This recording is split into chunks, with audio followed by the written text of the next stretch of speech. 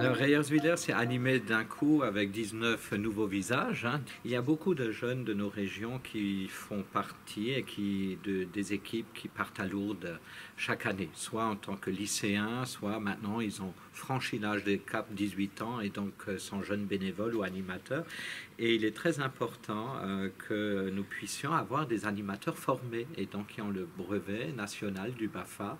Et ce qui est important aussi, c'est de pouvoir euh, leur donner un diplôme hein, qui pourra leur servir toute leur vie, que ce soit dans leur engagement ou dans les différentes circonstances d'animation auxquelles ils seront affrontés. Et puis, euh, entre nous, c'est un bagou quand même euh, de connaissance de soi, de connaissance des autres, du travail d'équipe, il y a une belle ambiance. Est-ce que ça se passe en Égypte?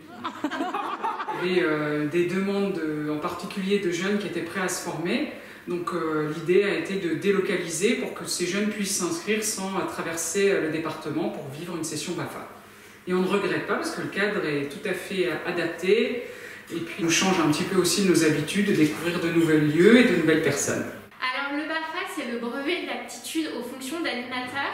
Donc c'est un brevet qui est reconnu euh, par l'État qui permet euh, d'encadrer des jeunes donc, en séjour de vacances, que ce soit euh, dans ce qu'on appelle des colos des accueils périscolaires ou encore des accueils extrascolaires, des centres de loisirs mais ça permet aussi euh, tout simplement d'acquérir une bonne connaissance euh, sur les différents euh, publics qu'on peut rencontrer ou bien apprendre des techniques d'animation pour des jeux, pour des temps en groupe.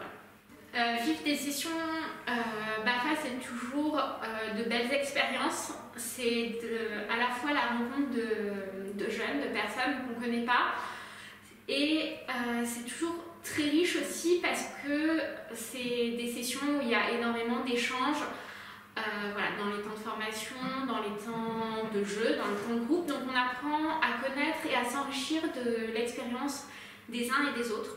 Alors j'ai choisi de passer le BAFA parce que je me suis dit que devenir animateur, ça serait vraiment une expérience enrichissante pour moi, euh, d'expérience avec les autres, avec euh, les enfants.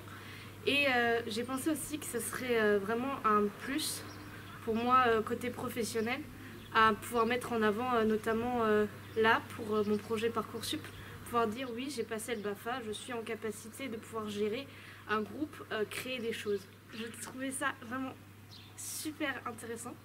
Ça m'a appris beaucoup de choses sur les enfants, sur la façon d'être avec eux mais aussi euh, ça me permet de vivre les choses avec les autres jeunes qui sont là, de euh, pouvoir faire euh, des, travaux de groupe, de pouvoir me dire que je sais travailler en groupe et ça m'apporte vraiment une expérience humaine très enrichissante. J'ai plusieurs motivations, déjà parce que c'est quelque chose que j'aime bien. Ça peut me permettre aussi de travailler plus tard dans cet environnement que j'adore avec les enfants. Et ça peut aussi m'aider pour mon projet, mon projet de, de boulot qui veut être professeur des écoles, donc ça peut forcément m'aider pour euh, n'importe quelle tranche d'âge.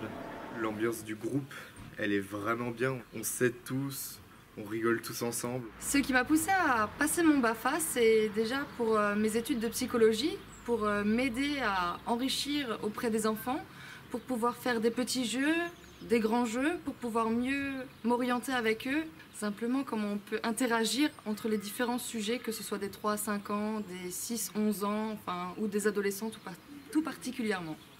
On apprend beaucoup de choses, que ce soit de la théorie ou de la pratique, et je trouve ça super intéressant et l'équipe elle est merveilleuse. Si un jeune me demande euh, s'il va faire son BAFA ou non, je l'encouragerai à le faire parce que c'est une expérience enrichissante que ce soit du côté humain et même son expérience propre qui est personnelle pour pouvoir euh, interagir avec ses propres enfants, ses frères et sœurs, euh, tout simplement.